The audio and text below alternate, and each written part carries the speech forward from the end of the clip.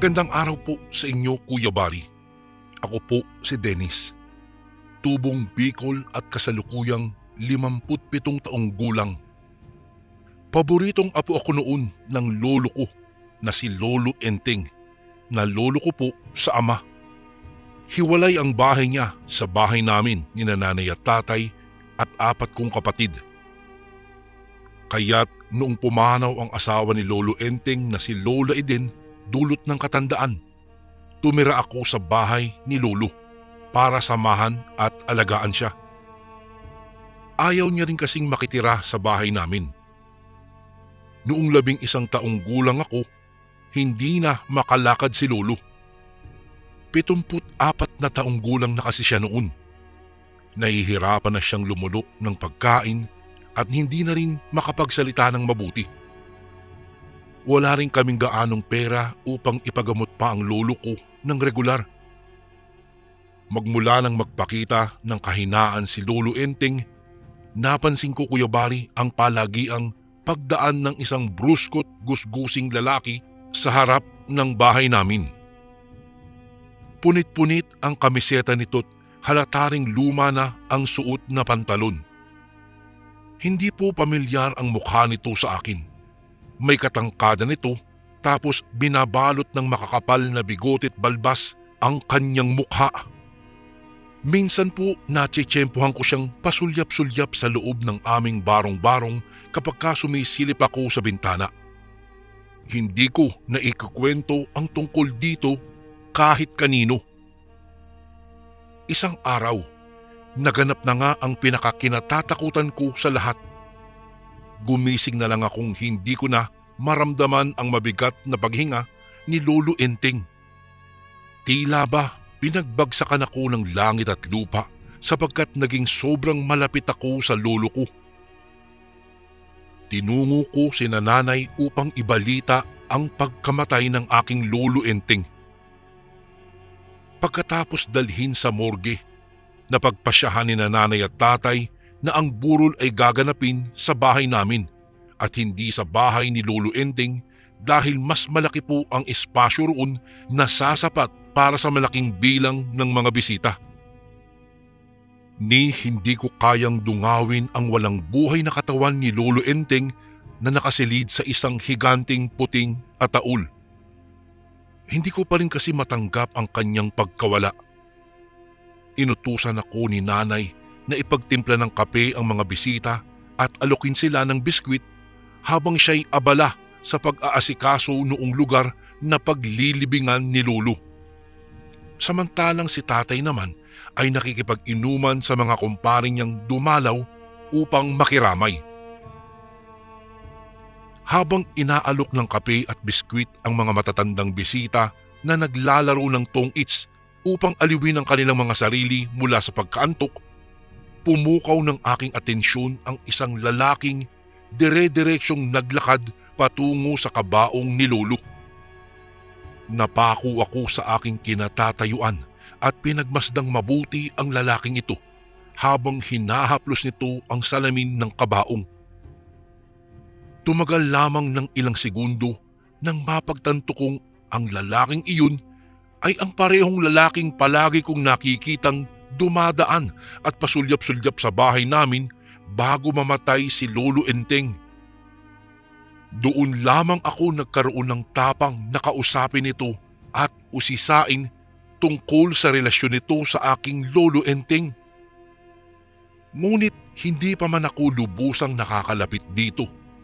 Napatakip na kagad ako ng ilong dahil sa kakaibang amoy na tinitiyak kong nanggagaling sa kanya. Umaalingasaw ang malansa at nakakasukang amoy. Sinadya ko ang tatlong hakbang na pagitan naming dalawa. Inalis ko na rin ang palad kong nakatakip sa aking ilong bilang pagpapakita ng respeto at tiniis ko na lamang ang kanyang amoy. Uh, magandang gabi ho, tatang.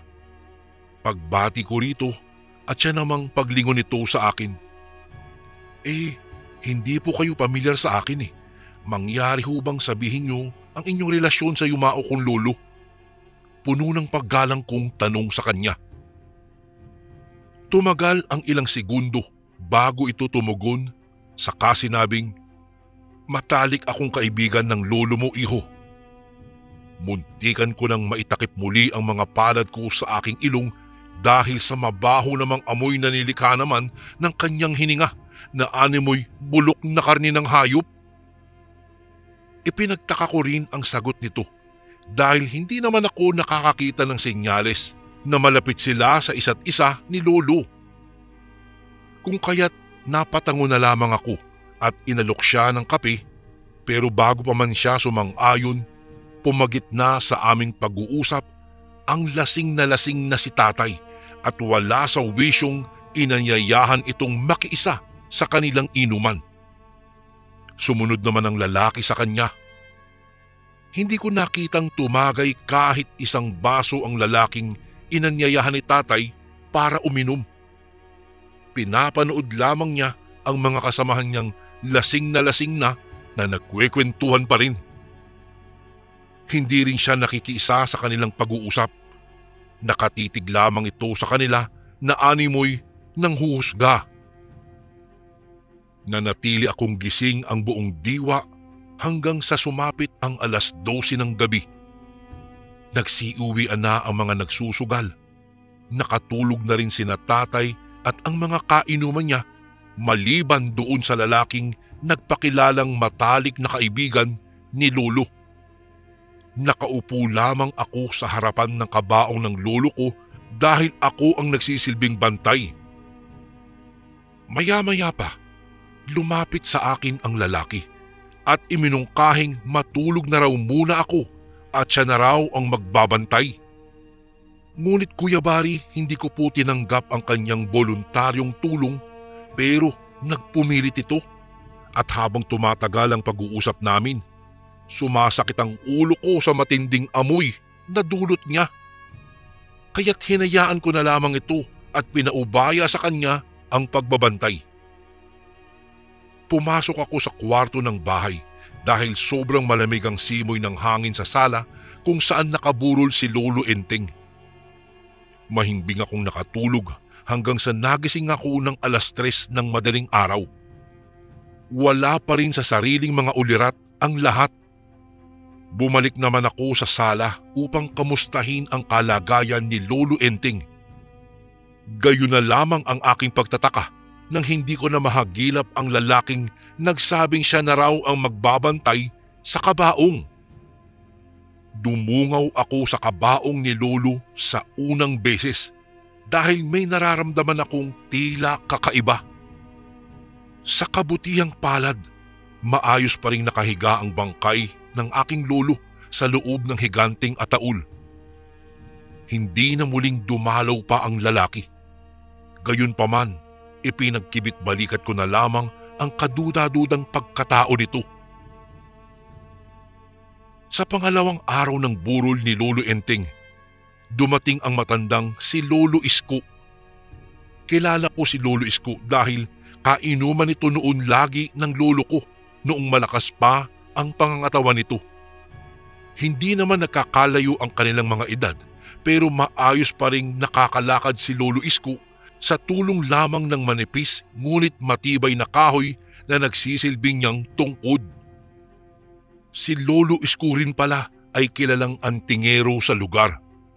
Malakas din ang kanyang pang-amoy sa presensya ng kakaibang mga nilalang katulad ng mga aswang. Nang dumungaw ito sa kabaong, ganoon na lamang ang pagbabago sa timpla ng reaksyon nito. Bumaling ito sa akin at nagtanong kung mayroon umano akong napansing kakaiba sa mga bisita magmula noong unang araw ng burol.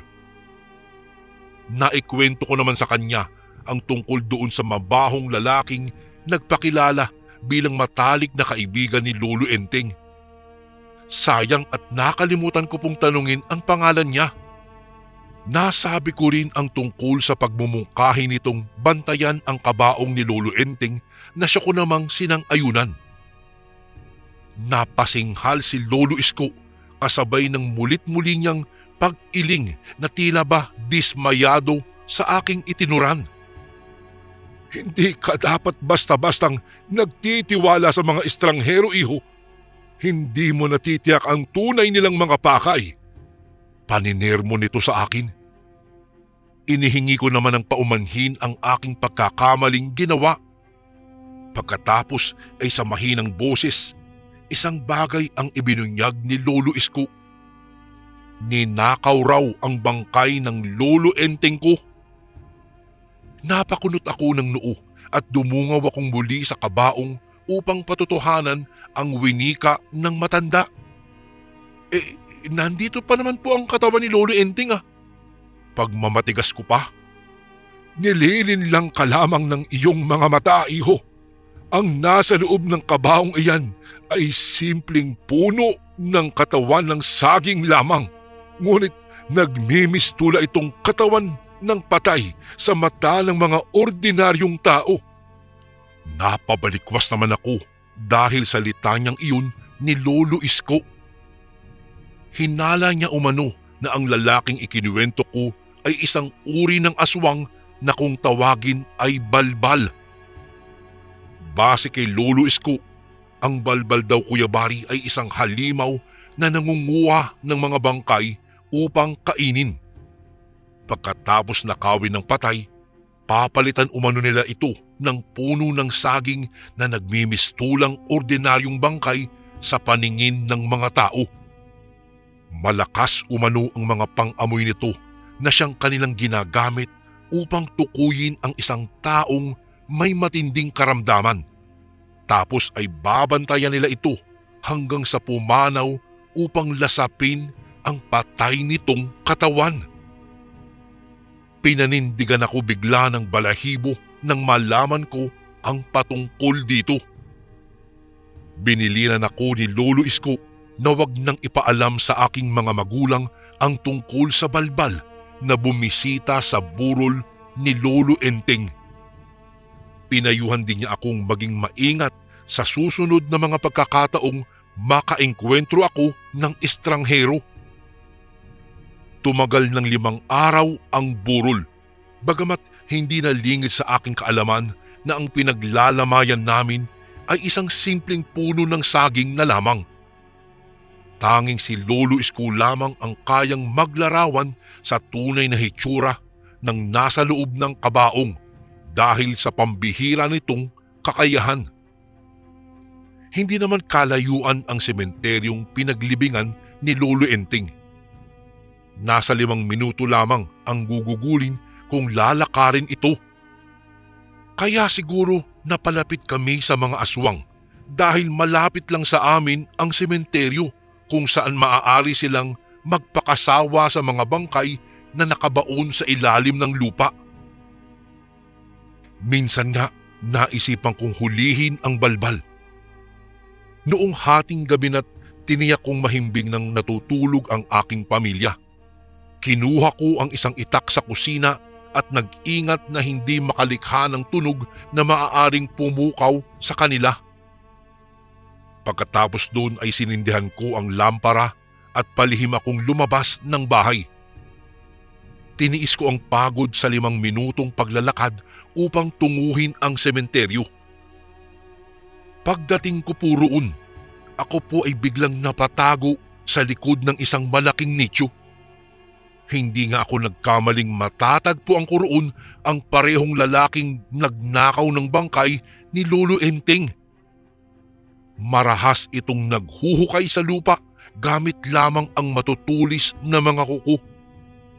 Habang ako'y tahimik na nagmamasid, napatigil ito mula sa kanyang ginagawa at parang nagpatingin-tingin ito sa paligid niya na tila ba may napansin siyang kakaiba mas hinigpitan ko pa lalo ang aking pagkakahawak sa itak at lampara. Ilang sandali pa'y biglang umalingasaw ang pamilyar na mabahong amoy sa paligid.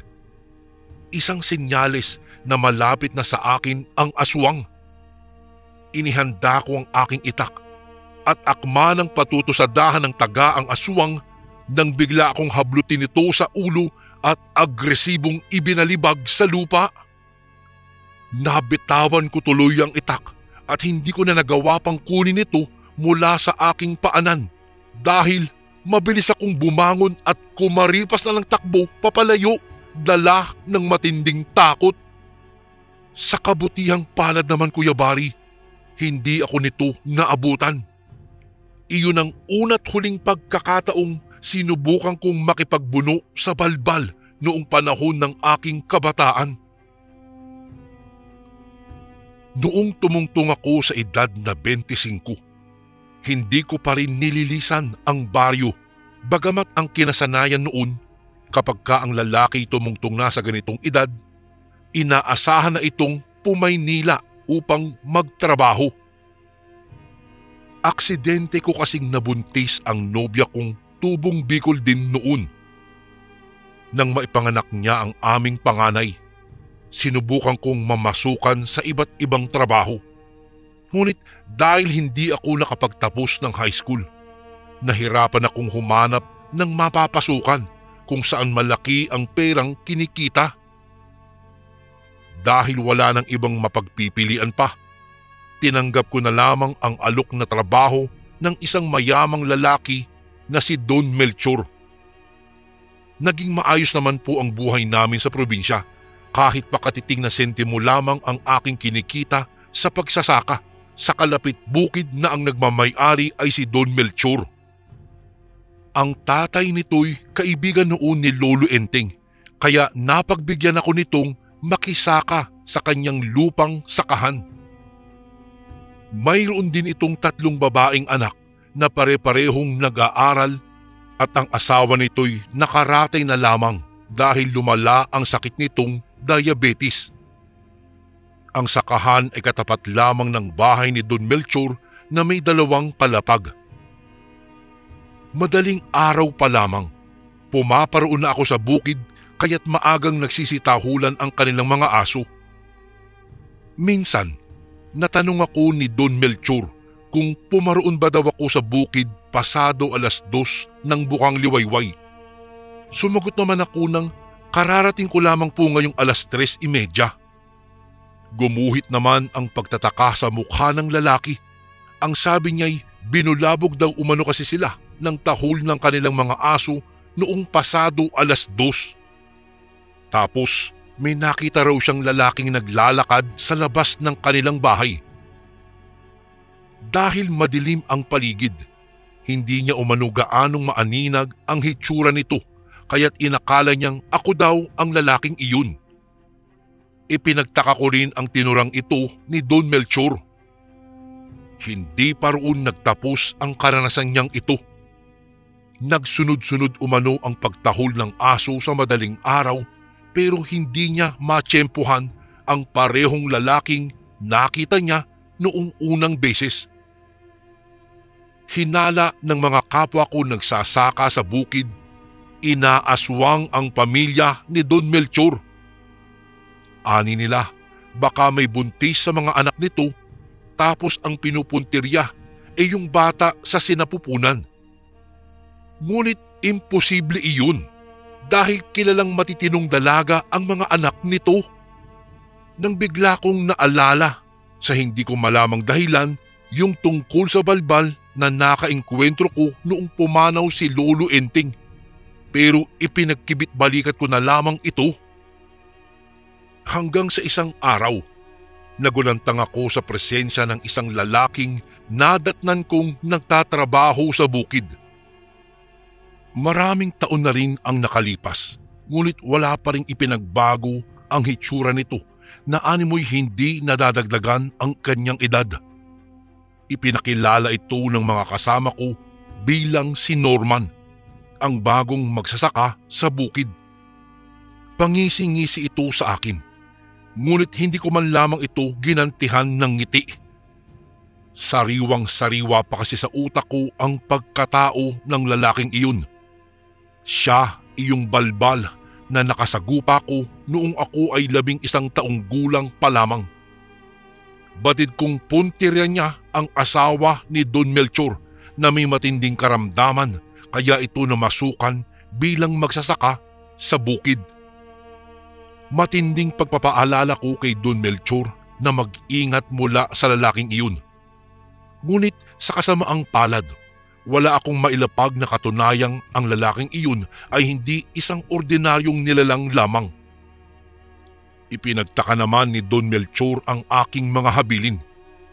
Ang sabi pa nito'y kahit gusgusin daw ang lalaki, walang sino man ang may karapatang husgahan ang pagkatao nito. Lumipas lamang ang tatlong araw. Binalot ng pakikiramay ang pamilya ni Don Melchor.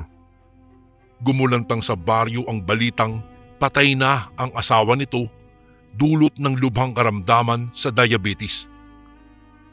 Ginanap po ang burol sa kanilang bahay at dumalaw ako kasama ang aking pamilya upang iparating ang aming pakikiramay. Dumalaw rin ang mga kasamahan ko sa pagsasaka at kasama na roon si Norman. Binantayan kong maigi ang bawat galaw ng lalaking iyon dahil batid kong puntirya nito ang bangkay ng asawa ni Don Melchor. Nagkayayaan ang mga kasamahan kong uminom upang kahit papaano umano'y mawaglit sa isipan ni Don Melchor ang pagkamatay ng kanyang asawa. Nagpalibot kami sa mesa at katabi ko'y si Norman. Tiniyak kong hindi ako malalasing upang mabantayan ang mga gagawing kilos ng lalaking balbal. Hindi nagtagal, nakatulog ang lahat. Pakunwari akong nakaidlip sa mesa. Naramdaman ko ang pagtayo ng katabi ko sa silya na si Norman nga. Narinig ko ang yabag ng kanyang mga paang naglalakad patungo sa kabaong ng yumaong asawa ni Don Melchor palihim kong iminulat ang aking mga mata at nasaksihan ko ang paglabas ng kanyang mga pangil at matatalas na mga kuko. Dang mga sandaling iyon ay agad akong tumayo at binunot ang daladala kong itak na nakasuksok sa kaluban nito. Nang biglang naibaling nito ang kanyang atensyon sa akin nang marinig ang ingay na nilikha ng pagbunot ko ng itak. Biglang nanlisik ang kanyang mga mata na animoy handa ng manunggab anumang oras. Hindi mo ba ako naaalala, Norman? Ako yung batang nakipagbuno sa iyo noon sa sementeryo. Matapang kong saad. Hindi nalingit sa aking kaalaman ang tunay mong pagkatao. Ha, Norman, kung sila'y kaya mong linlangin, pues ako hindi. Bit-bit ang itak sa aking kanang kamay Kumaripas ako ng takbo papalapit dito upang sanay ambahan siya ng taga. Ngunit mabilis itong nakailag kaya't natamaan ko lamang ito ng maliit na sugat sa kanyang kaliwang braso. Lumikha ng ingay ang aming pakikipagbuno sa isa't isa kaya't nagising ang ilan sa mga bisita. Agad namang silang umawat sa pagitan naming dalawa. Naglahong bigla ang mga pangil ni Norman pati na rin ang matatalas niyang mga kuko. Tumagas ang dugo mula sa manggas ng kanyang kamiseta at naalarma ang mga tao. Isang balbal ang taong iyan. Balak niyang nakawin ang bangkay ng asawa ni Don Melchor upang lantakan. Pangungumbinsi ko sa mga tao. Ngunit umakto silang parang mga bingi at hindi ako pinakinggan abala lamang sila sa pagbibigay ng paunang lunas sa sugat na tinamo nito mula sa aking pagtaga. Ang sabi nila'y dala lamang baha. Ang sabi nila'y dala lamang daw siguro ng labis kong kalasingan ang aking mga inasal. Matapos yun ay biglang umaktong animoy inosenteng biktima si Norman at nagpadala naman sa kanyang panlilinlang ang mga taong naroroon. Sumama ang loob ni Don Melchor dahil sa nangyari at saka inatasan ang isa sa mga kaibigan niyang alalayan akong umuwi pero ipinilit kong uuwi akong mag-isa dahil nanindigan akong hindi ako lasing. Noong sumunod na araw ay dinalaw ako ni Lolo Isko. Nabalitaan niya umano ang pakikipagbuno kay Norman mayroon silang alitan ng yumaong ama ni Don Melchor kaya't hindi ito dumadalaw sa lamay. Ipinagpaumanhin ko naman dito ang hindi ko pagkukwento rito na muli kong nakainkwentro nga ang balbal na una kong nakilala noong pumanaw si Lolo Enteng. Ang sabi nito'y hindi daw sasapat ang kahit pa limangpung taga upang talunin ang balbal. Ang kailangan ko raw ay isang punyal na isinaksak sa puno ng lalaking papaya na magdudulot ng sumpa upang ang sugat umano'y hindi na malunasan. Sinunod ko naman ang payo ni Lolo Isko. Tumungo ako sa sementeryo hinintay ang presensya ni Norman. Bit-bit ang punyal na isinaksak ko sa puno ng lalaking papaya na siyang tanging nagsisilbi kong sandata. At hindi nga nagtagal Kuya Bari, nagkita kami.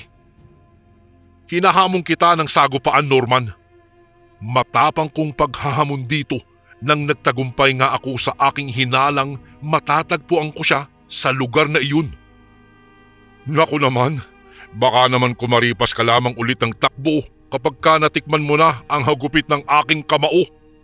Pang-uuyam nito sa akin kasabay ng bahagyang pangisi-ngisi. Norman, hindi na ako yung dating inosenteng batang nagpalinlang lamang sa iyo noon. Pasigaw kong tugon sa kanya. Nagsimulang manlisik ang mga mata ng lalaki.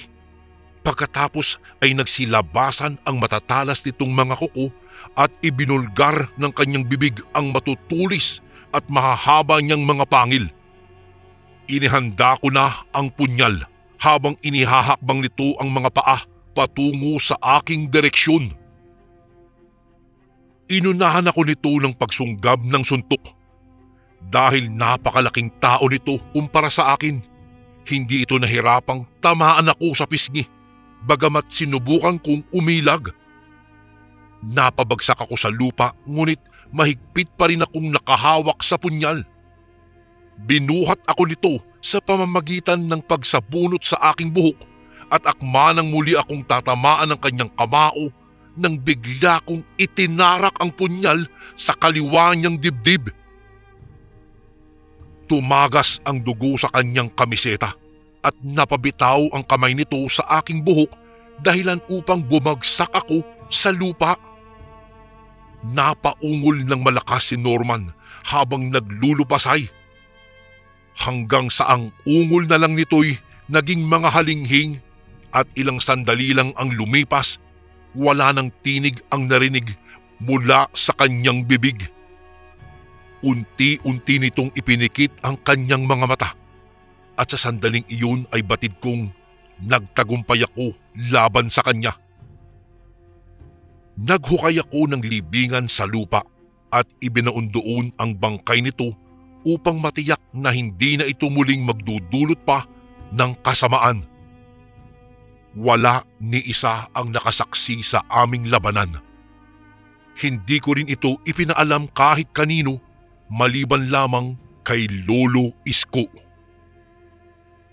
Matapos ang pangyayaring iyon Kuya Bari, ay parang nabunutan ako ng tinik sa aking dibdib.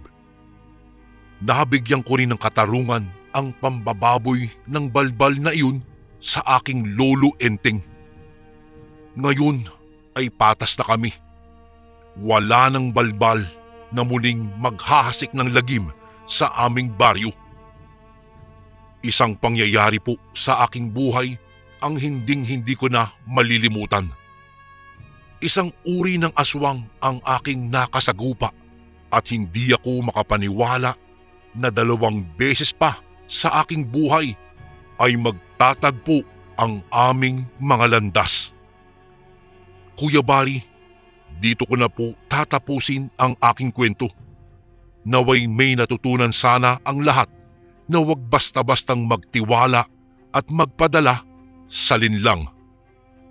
Lubos na gumagalang, Dennis. At ito naman po ang ating pangalawang kwento para sa araw na ito.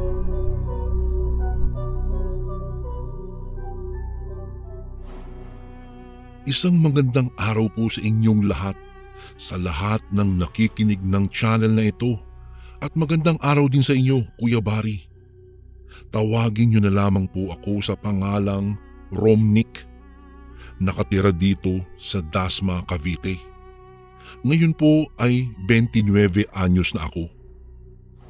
Nais ko lang pong ibahagi sa inyo ang kwento ng aking ina na si Rika. Nang minsang nagbakasyon siya doon sa aklan kung saan nagtatrabaho ang aking ama. Naganap po ang mga pangyayaring ito taong 1989. Na-assign ang aking ama sa aklan dahil sa gagawin nitong proyekto. Kung kaya sumama ang aking ina sa kanya upang makapagbakasyon na rin ito kahit papaano. O sigurado ka bang kaya mong magbiyahe ng napakalayo? Pag-aalalang tanong ng aking ama sa aking ina. Tumango naman ang aking ina kaya napapayag niya na rin ang aking ama na sumama sa aklan. Makalipas ang ilang araw ay nasa aklan na sila at kasalukuyang inaayos ng aking ina ang mga damit nila sa aparador. Nangupahan lang po sila ng bahay ng mga panahong iyon dahil hindi naman po magtatagal ang aking ina at babalik rin ito sa Maynila habang ang aking ama naman ay mananatili sa aklan hanggang sa matapos nito ang proyektong ginagawa. Siya nga po pala Kuya Bari. Noong mga panahong iyon ay apat na buwang buntis ang aking ina at isinama niya po ang kanyang kapatid na si Tito Hobart. Bali, bata pa po si Tito Hobart noon. Nasa edad 13 anyos pa lang po siya. At sakto namang wala siyang pasok kaya isinama siya ng aking ina. Hindi po kasi papayag ang aking ama na maiwan lang mag-isa ang aking ina sa bahay na rerentahan nila lalo na't buntis pa po ito. Uso na po kasi ang mga bali-balita noon tungkol sa mga aswang. Isang araw, maagang nagpaalam ang aking ina sa aking ama na mamamasya lang siya sa plaza. Medyo naiinip na raw siya kasi sa loob ng bahay at wala itong ginagawa. O sige sige mahal, basta mag-iingat ka palagi ah. Pero isama mo si Hobart para merong magbabantay sa'yo. Mamaya kung mapaano ka dyan sa daan. Tugon ng aking ama. Ay sus naman mahal, ikaw talaga. Napaka-advance ng isip mo. Wala namang mangyayari sa aking masama dahil mag-iingat naman ako palagi. Reklamo ng aking ina. Ay nako, hindi naman sa ganoon mahal. Nag-aalala lang ako sa iyo. Kaya gusto kong isama mo si Robert para kahit nasa trabaho ako, hindi ako mag-aalala kung mapaano ka na dyan. Pahayag ng aking ama. O siya siya siya, sige na nga. Para matigil ka na. Isasama ko na yung kapatid ko para hindi ka na mag-alala. Maliwanag po ba yun? Ngumiti naman ng aking ama at humalik na sa pisngi ng aking ina bago ito umalis. Makalipas ang ilang oras ay lumarga na ang aking ina kasama nga si Tito Hobart. Una nilang pinuntahan Kuya Bari ay sa palengke. Namili muna ang aking ina ng mga pagkaing kakain nila habang naglalakad patungong plaza. Hindi naman po kasi kalayuan ang plaza doon sa kanilang tinitirhan. Pagkatapos nilang mamili ng pagkain ay agad na silang naglakad patungo sa plaza. Noong nakaramdam na ng pagod ang aking ina ay nagwika ito kay Tito Hobart na maghanap sila ng upuan upang sila ay makaupo dahil daw nananakit na ang kanyang binti kakalakad. Lumipas ang ilang sandali at naupo na nga sila. Nagulat na lang bigla ang aking ina dahil bigla na lang may matandang babae ang lumapit sa kanya at biglang hinawakan ang kanyang tiyan. Kaya napaigtad ang aking ina at nagsabing, Ay pusang gala, ano ba naman yan manang? Nakakagulat naman po kayo. Bigla-bigla po kayong sumusulpot. Bulalas ng aking ina. Tumingin naman sa kanya ang matanda at hindi nito naiwasang tumulo ang laway.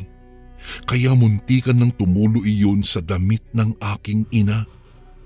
Mabuti na lang at nakaiwas siya kung kaya sa lupa bumagsak ang laway ng matanda. Nako, pasensya ka na iha kung nagulat kita. May naaamoy lang kasi akong napakabango. Anya ng matanda habang nakatitig ito sa tiyan ng aking ina. Ayon sa kwento ng aking ina, nakakakilabot tignan ang matanda at ang baho nito na parabang galing ito sa ilalim ng imburnal. Isa pa ay sira-sira at kulay itim ang mga ngipin nitong napupudpud na at parabang ilang buwan na itong hindi nagsisipilyo. Kaya napatayo ang aking ina at umiwas sa matanda. Agad naman niyang tinawag ang kanyang kapatid at inaya na umuwi. Naku, ano ba yun? Nakita mo ba yung matanda kanina, Hobart? Yung parang pulubi ata yung matanda na yun. Naku, nakakagulat. Bigla-bigla na lang sumusulpot. Bulalas ng aking ina sa kanyang kapatid habang naglalakad sila pauwi. Oo nga ate, di ko nga alam kung saan galing yung matanda eh. Ako rin nagulat din ako eh, tapos bigla na lang nasa harapan mo na. Sagot naman ni Tito Hobart sa aking ina. Nang makarating na sila sa bahay ay nakaramdam ng antok at pagod ang aking ina. Kaya nagpaalam siya kay Tito Hobart na matutulog muna siya. Takip silim na nang magising ang aking ina kaya nagmamadali na siyang bumangon at inungo ang kusina. Pagkarating niya sa kusina ay naabutan niyang nagluluto na ng pagkain ang kanyang kapatid. Kaya pumunta na lang siya sa sala upang isara na ang mga bintana. Noong akmang isasara ng aking ina ang bintana, napansin niya ang matandang babae kanina sa plaza na naroroon sa malapit sa may puno sa tawid ng kalsada at nakatitig ito sa gawin niya. Kaya nakaramdam ng kilabot ang aking ina at nagmamadali na siyang isara ang lahat ng kanilang mga bintana kahit ang pintuan ay isinara niya rin. Bago ko po ipagpatuloy ang kwentong ito ay may request sana ako sa iyo kasundo. Isang pindot lang ito kasundo sa subscribe button namin. Malaking tulong po ito sa amin kasundo upang mapagpatuloy pa namin ang mas marami pang magagandang kwento. Salamat sa pag-subscribe mo, bagong kasundo.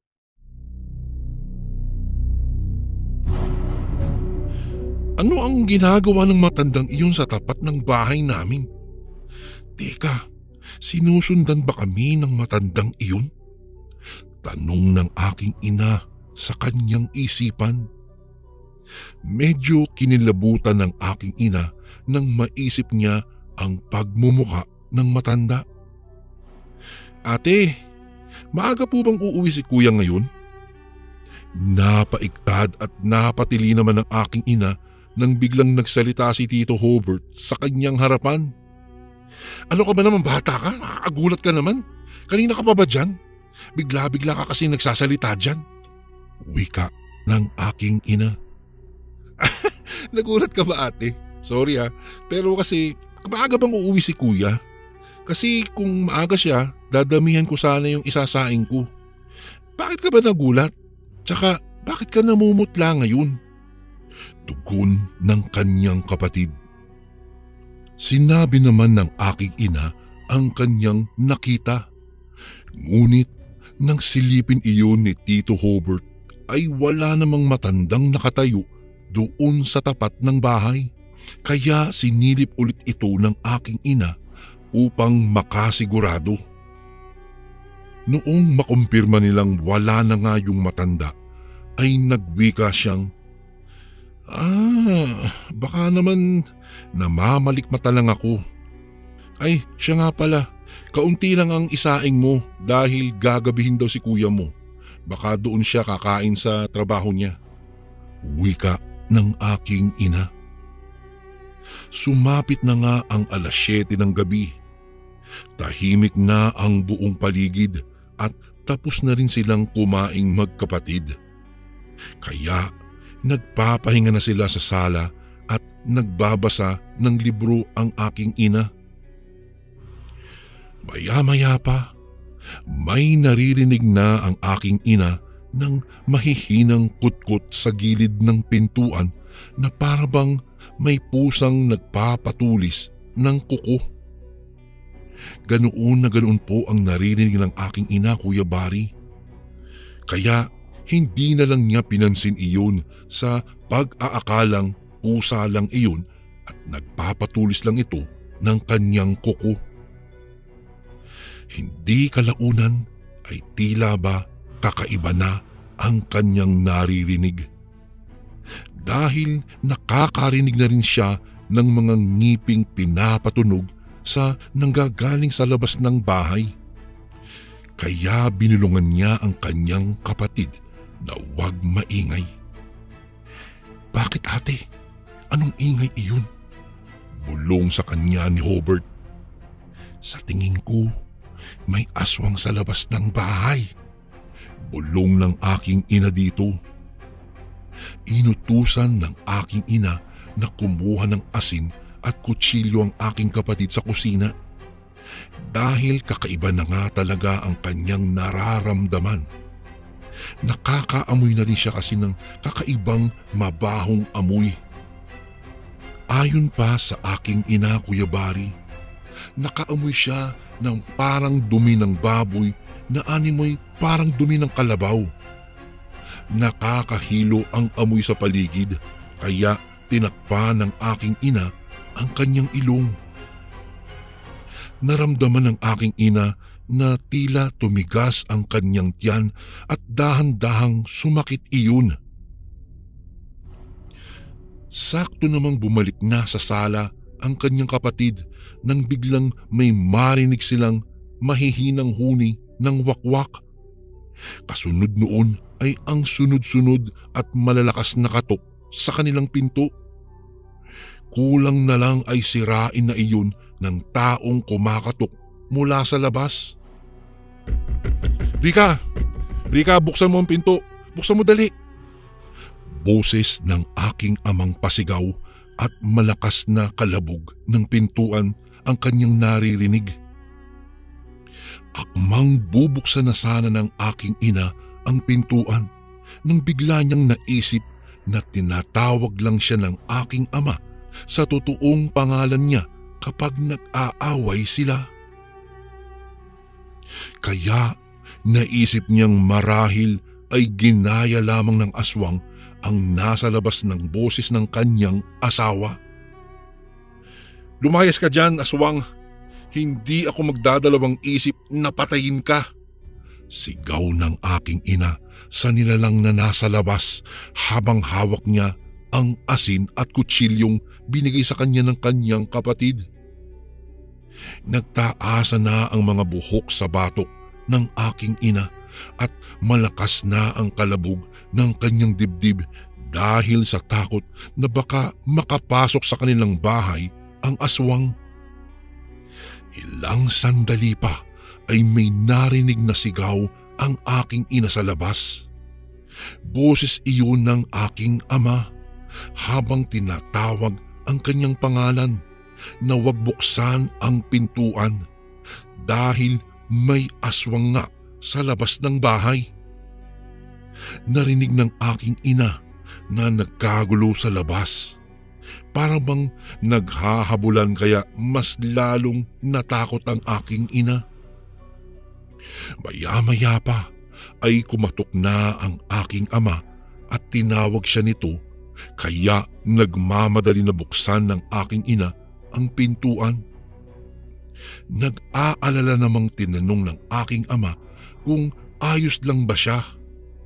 Ayon naman sa aking ama ay maaaring hindi na bumalik pa ang aswang sa kanila dahil nakatamo ito ng matinding sugat dahil sa pagkakahambalos niya ng buntot pagi na ibinigay sa kanya ng kanyang kaibigan doon sa trabaho niya.